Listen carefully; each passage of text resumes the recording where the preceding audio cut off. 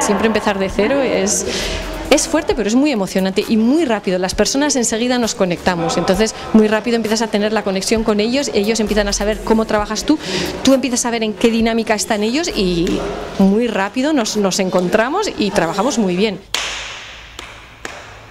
Mira tus manos, mira tus manos, mira las manos, mira las manos. Muy concentrados en las manos.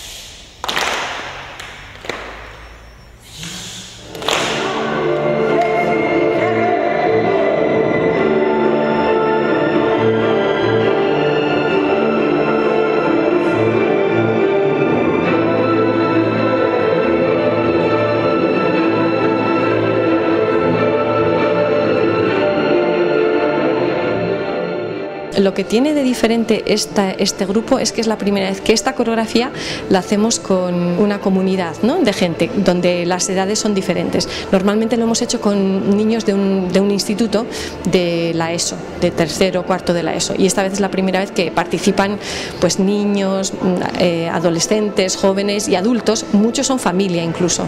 Un proyecto de danza comunitaria que consiste en hacer una coreografía para todos los públicos, para niños, para mayores. Muchas horas de ensayo, desde cero, con tranquilidad, con paciencia y que todo sale al final.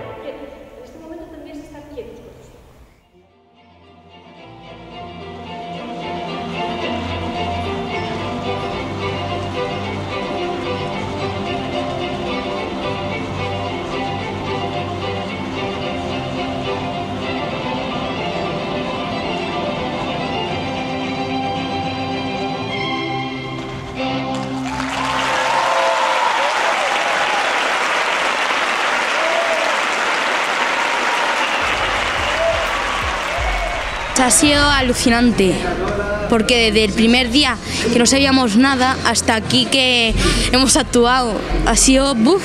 Yo me he quedado bastante sorprendida de ver que en cinco días que han sido intensos, hay que decirlo, lo que hemos podido hacer entre todos, eh, el compañerismo que ha habido, eh, el hermanamiento que ha habido, la emoción que ha habido entre todos. Ha habido momentos de mucha emoción, eh, oyendo incluso la música y ha sido de verdad una experiencia fantástica.